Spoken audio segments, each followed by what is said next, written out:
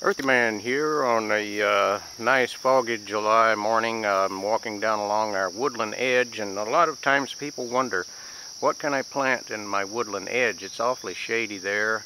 Well I'm looking at what we call a wild golden glow.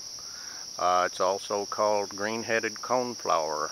Uh, if you look closely over here you can see the green head on this uh, newly uh, formed bloom over here underneath this uh, walnut tree. And uh, in the background back there behind we have some giant yellow hyssop that will also grow on the uh, woodland edge.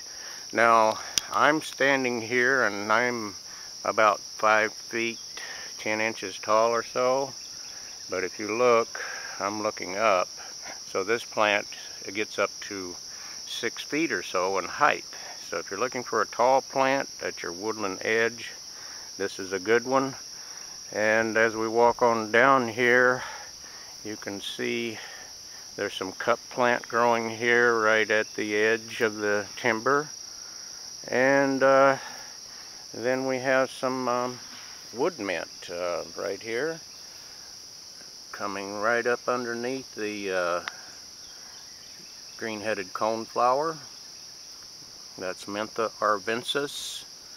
And right next to that, we have some brown-eyed Susans, Rudbeckia triloba.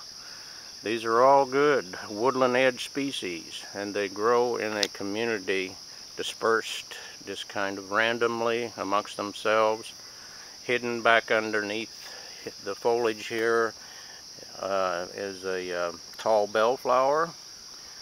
And we've had a drought here but they seem to still be able to bloom and give a nice blue color.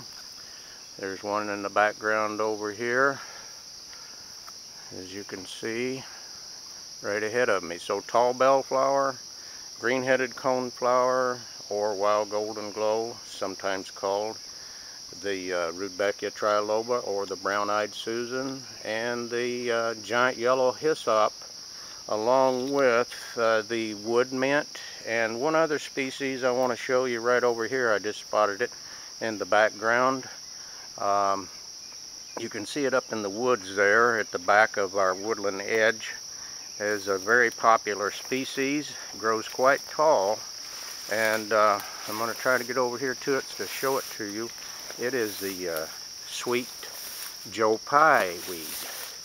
It will tolerate a lot of dryness, unlike its brother or sister, the Swamp Joe Pye. This one grows in partial shade, is a little bit uh, lighter in uh, pink mauve color, and it will grow five to six feet in height.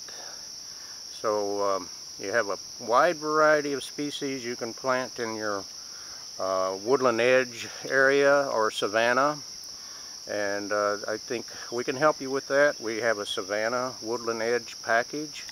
Uh, we have seeds and we have plants here at Ion Exchange Native Seed and Plant Nursery. Earthyman signing off.